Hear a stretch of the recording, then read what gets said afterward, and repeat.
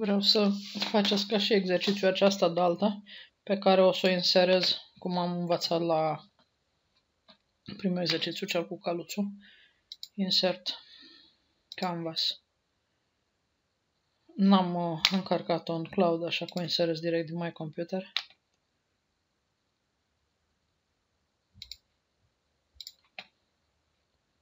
O poziționez, să zicem, pe planul orizontal. Clic aici. Verific opțiunile să fie semi-transparent și dacă e cazul, dacă se așează răsturnat în oglindă, atunci se alege și opțiunea flip. Ok. N-am adus încă la scară.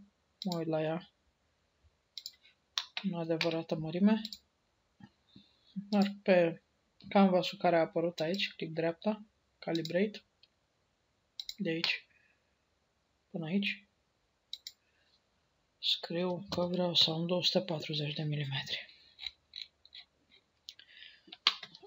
Mai fac ceva, mă asigur că uh, figura e cu axa ei longitudinală, axa de simetrie pe axa X a sistemului de coordonate. Putem vedea asta de aici. Ca la orice obiect uh, cu simetrie axială, recomand folosirea sistemului de coordonate ca plan de simetrie. Dacă vreau să mut, dacă nu s-a așezat bine, o mut revenind în comanda de canvas și nu din unealta de move copy. Și acum uh, putem crea o schiță odată ce background-ul e pregătit. Creăm o schiță pe care o așezăm pe același plan orizontal. Clic aici. Și pe care începem să desenăm linii drepte. Uh, acum, ce desenăm de fapt? Observăm că obiectul e făcut din uh, două uh, tronsoane distincte. Sau chiar trei, dacă socotim și zona de aici. Avem un sector cilindric aici, un sector cu secțiune hexagonală aici și aici aceeași secțiune hexagonală o să presupunem că e teșită. Deci, în orice caz, avem de, de creat o formă care nu mai e o simplă formă de revolve. Și atunci facem două profile separate. Merg pe principiu că mai bine să prisosească decât să nu se ajungă. Putem folosi linii arce și curbe.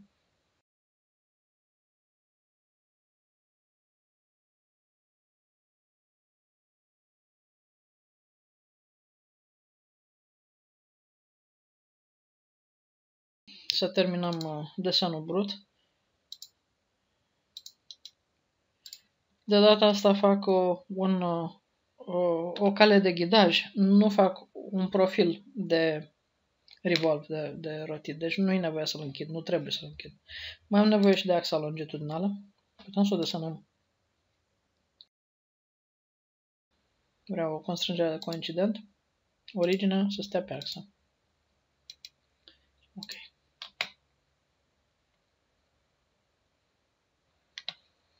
A, o să prelungesc puțin uh, coada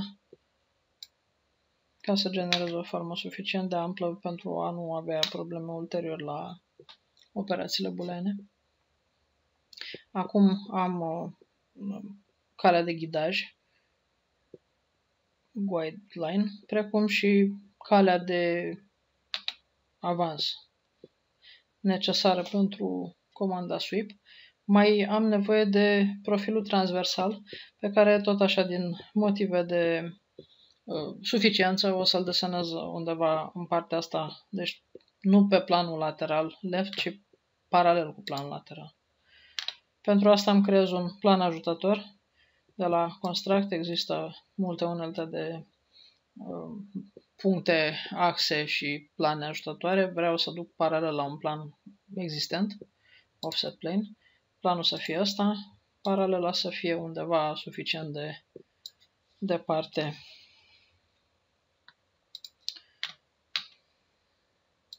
Apoi uh, pe el creez o schiță, pe acest plan, clic pe el și în acea schiță vreau să-mi proiectez calea ca să determin uh, până unde trebuie să ajungă secțiunea. Și fac asta cu project, selectând cale. A apărut punctul acela roșu, ok, care s-a proiectat aici.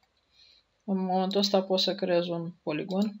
O să iau opțiunea înscris care definește poligonul prin uh, centru și vârf. Arăt că centru e aici și vârful vreau să fie aici. Ok.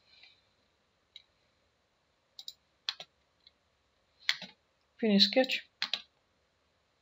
Iar comanda propriu-zisă pe care vreau de fapt să vă arăt este sweep. Uh, sweep care în modul uzual de lucru mm, glisează un profil de-a lungul unei căi, menținându-l perpendicular pe cale.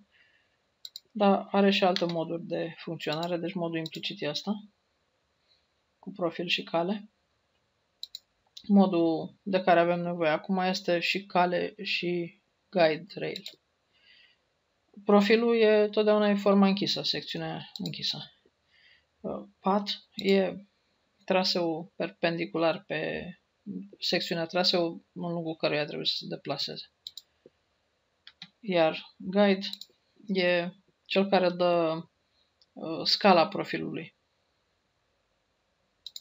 Cum trebuie mărit sau mișorat el. Uh, comanda acum este în opțiunea implicită Scale, care e și cea dorită. Mai are o opțiune Stretch, care lățește profilul ca să-l ducă până la guide, dar nu și înalță.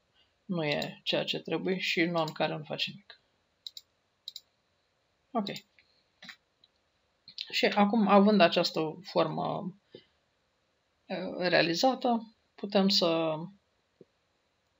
facem în partea dinspre coadă de aici o formă de revoluție pe care o scădem ca să obținem zona cilindrică și aici o formă de extruziune pe care o scădem ca să obținem teșitura. Să facem lucrurile astea. Uite, putem face altă schiță în front pentru vârf. Creez o schiță care arată așa.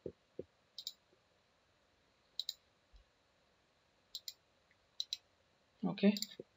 Care fac și mirror. Acelea au fost obiectele de oglindit. Acum cer să-i arăt mirror line. Selectez patul ăsta existent pe aici. Și ok. Și închid profilul. Uh, s-a făcut albastru, semn că e un profil închis, e bun. Finish sketch.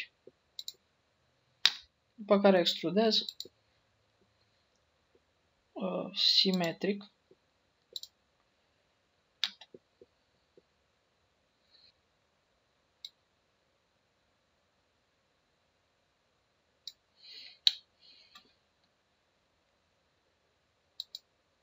cu opțiunea All, uh,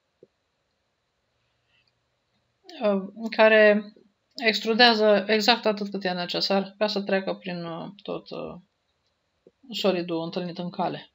Chiar dacă solidul acesta se va modifica prin schimbarea profilului său, atunci și extruziunea se va modifica pentru a respecta regula all. Ok.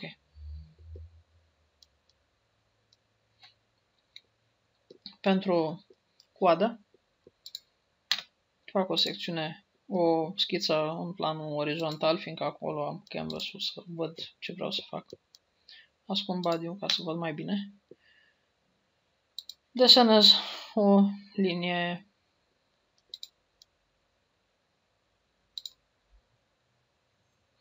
să ignorăm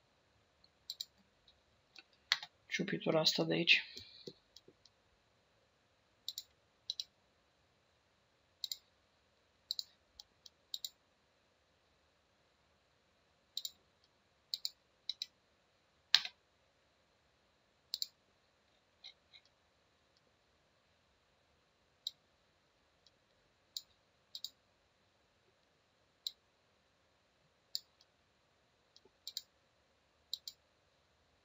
Aici pun condiția de tangentă orizontală pentru a avea un profil frumos.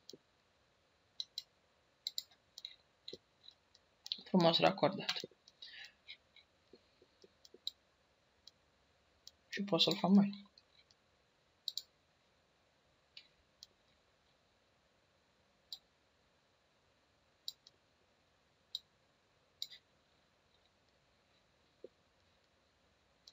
Continui prin a închide profilul.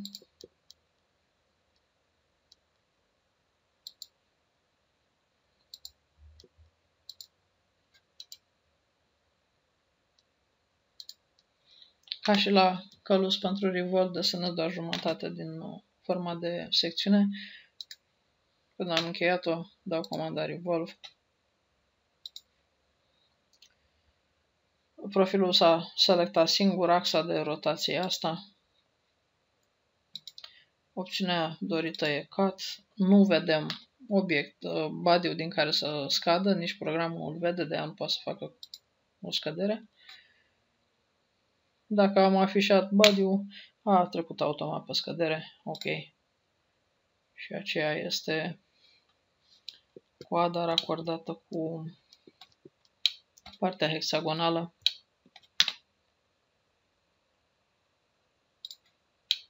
Și în momentul ăsta alta e